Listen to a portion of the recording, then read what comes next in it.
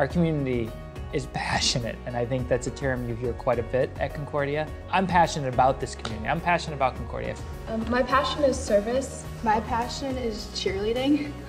I'm very passionate about film production and service. And my greatest passion is music.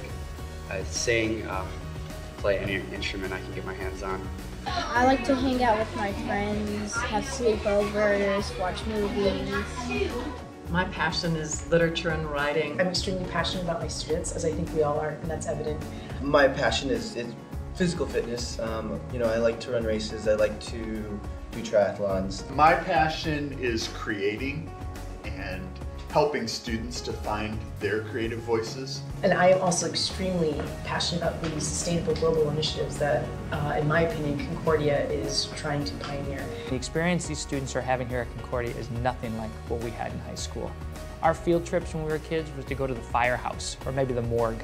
I mean, these kids on field trips go out to Western China and they bring water to people who've never had water in their village. And Concordia provides so many opportunities with interim and migrant school teaching and helping with the elementary school. It's really incredible. So when we went to YP Dashanbao to teach English, simply seeing the sea of smiling faces at you made me uh, create a humanitarian segment in United Herald and then try to expose our student body to humanitarian issues around Shanghai so that they too will be uh, motivated as I was to help the people in need. In the past, I've played in orchestras. There's um, a couple bands. There's uh, five choirs that you can take part in. I sing in two of them. Passion at the school, it's, it's, it's everywhere. It's a passion for learning. And you've got teachers who finish teaching and then you look at them and they're kind of out of breath. I, I'd like to say the concept of passion for me is, is just coming to a school and, and helping to work with this amazing uh, set of teachers to bring about a program that you can't find anywhere else.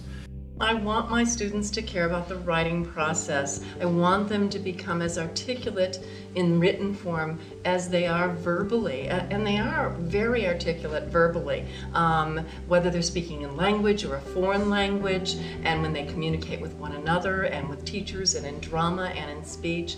Um, but I really do want them to become articulate on paper as well. Several years ago, I started an elective for the seventh and eighth graders and they created readers theaters and puppet shows and they also worked on the middle school chapel assemblies. It was a middle school perspective on the chapel assembly for the middle school students.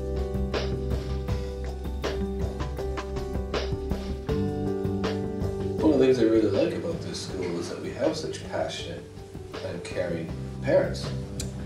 About seven years ago, a group of parents got together to organize a school store. And we felt that the school spirit was missing in our community at that time. It's completely different today. We had an opportunity to host an APAC basketball tournament. The entire gym was filled with people wearing Phoenix Shop, uh, Concordia clothes, the pom poms. Being able to go in the middle of the court at halftime and do the routine that you worked two or three weeks on. And then when you start it, the music starts because it's all quiet before that.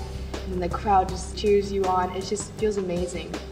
Where we have evolved in school spirit and what initially was thought up to be a, a small little store has turned into a huge thing and made a difference in our community.